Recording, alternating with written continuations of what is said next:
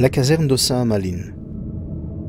Souvent considérée comme l'antichambre de la mort, est le point de départ du processus de déportation et d'extermination des Juifs vivant en Belgique.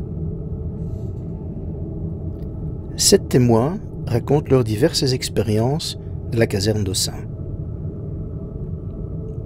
Nathan Ramet et Félix Guttmacher, déportés dès les premières semaines d'existence du camp.